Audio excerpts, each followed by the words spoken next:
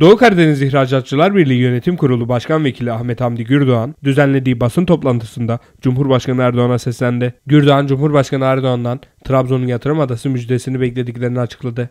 Şu anda bile milletvekili adaylarının resmi gazetede ilan edilen Trabzon Yatırım Adası endüstri bölgesi yatırımının dillendirmemesi, yapımı konusunda irade ortaya koymaması Trabzon halkının sanayisini ve ihracatçısını gönülden yaralamaktadır.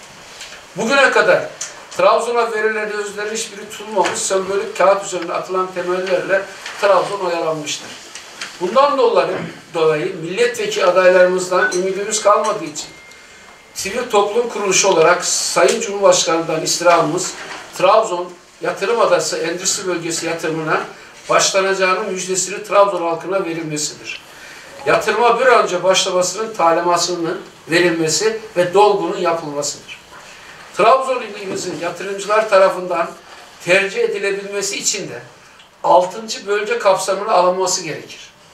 Bunun yanında Trabzon ilimiz gerek bulunduğu bölgenin coğrafi şartları ve gerekse altyapı ve lojistik imkanlarının yetersiz kalması, yatırım arsası yetersizliği ve sabit yatırım maliyetlerinin yüksekliği nedeniyle yatırımcı tarafından tercih edilmemekte ve bu olumsuzluklar yanında Trabzon ilinin yatırım teşvik mevzuatında gelişmiş iller gibi üçüncü bölge kategorisinde bulunması, Trabzon ilini çevreyen illerin beşinci bölge kategorisinde olması, Trabzon sanayileşmesini engelleyen en önemli nedendir.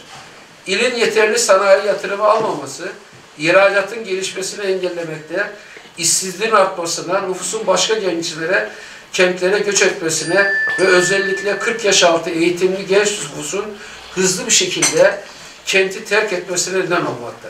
Ve bu durum geçmiş yıllarda Doğu Karadeniz bölgesinin merkezinin ve cazibe merkezi işlevini gören Trabzon'un bölge içindeki birçok ilden geri kalmasına, ilin kent vizyonundan hızlı bir şekilde uzaklaşmasına sebebiyet vermektedir.